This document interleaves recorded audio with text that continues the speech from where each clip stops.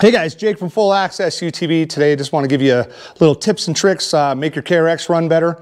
Some of you may notice this, some of you may not notice anything, but what you're about to do will only take you 10 minutes and in my opinion, it's a must do. We do it to every single KRX that we own and we do it to the KRXs that we work on, even though half the time we even forget to tell the owners we did it. It's just something you do. Um, Fuel injection. I've been doing fuel injection my whole life with all the racing and the race cars. Uh, I've been doing engine conversions, LS conversions. Man, you do fuel injection conversions. I've done so many things over the years and there's one common denominator and it's grounds. Grounds are the most important thing in these computers and in fuel injection. And I know there's a lot of techs right now going, yep, yep, yep, he's right. I mean, these things are controlled by relays and switches. Everything is grounded and switching through these computers um, from your starter. Every single thing needs proper grounds.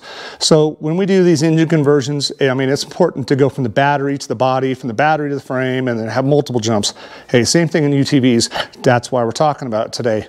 Um, there is an inherent problem with UTVs. They're just being baked in powder coating and stuff, and then they're screwing in the bolts really quick, and it's just quick assembly line stuff.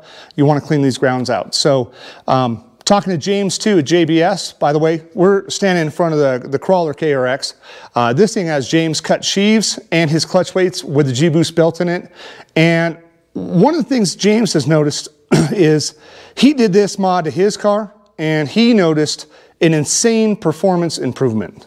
Now, I haven't seen that, but it's somebody I believe that had an issue that resolved it by doing this, and that's just one story, one guy. Um, I have another story of another guy kept having issues bringing it into the dealer three different times, um, was having multiple issues, cut down, going to limp mode, and flash LR on the dash, so on and so forth. Um, I recommend he look at the coil packs, take off the little coils, uh, the spades, slide them back on and off. He could use a little, little dielectric grease if he wanted to. And I said, do the grounds. He called me back and said, has never done it again. And he was super stoked. So I guess that's one thing to say too. I am, uh, it, I'm, I'm, fortunate to hear a lot of your guys' complaints about these cars, hear your issues, hear your issues with dealers and stuff. But man, if you guys have issues, call me, you know, I'll help you. And um, I just think that's cool. So today, man, I got chicken in my throat. So today I'm gonna show you really quick. This is a 10 minute job and this is how you clean up your grounds and put it back. So I have Tommy come on up in here into the KRX. Now the first thing you wanna do is, obviously we are in the driver's side rear corner and the first thing you wanna do is disconnect the ground on your battery. And then these are the main grounds we're talking about here, here, and down here. So pull these out.